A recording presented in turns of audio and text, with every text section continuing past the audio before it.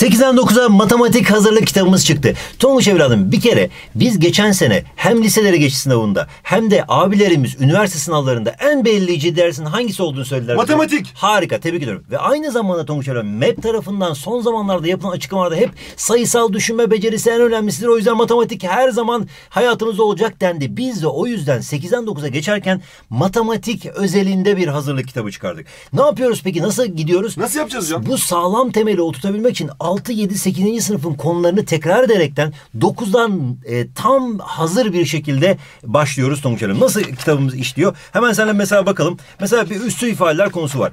Bu 9. sınıfta göreceğimiz bir konu. Ama bunu gördük görmeden önce ilk başta biz bunu 6'da gördük, 7'de gördük, 8'de Peşimizi gördük. hiç bırakmıyor. Harika. İlk başta 6, 7, 8'deki tekrarlarımızı yapabilmek için 6. sınıf testimizi çözüyoruz sayılarla ilgili. Ardından 7. sınıf testimizi çözüyoruz Tonguç Evlenmem. Ardından 8. sınıfla alakalı testlerimizi çözüyoruz ve 6, 7, 8'i tekrar etmiş Hocam sorular uzun duruyor. E, Hiç sorun değil. Yapamadan, yapamazsan soruların hepsinin çözümü aslında e, kare kodla hemen videolu bir şekilde izleyebilirsin. Sorular da yeni nesil sorular olduğu için birazcık daha tabii uzun durabilir. Sonrasında Tonguç Evlenmem ne yapıyoruz? 8'den 9'a kampımızdaki videolardan 9. sınıf üstü ifadeler ve denklemler konusuna giriş videomuzu iz- iz- izliyoruz ve ardından ne yapıyoruz Tonguç Evlenmem?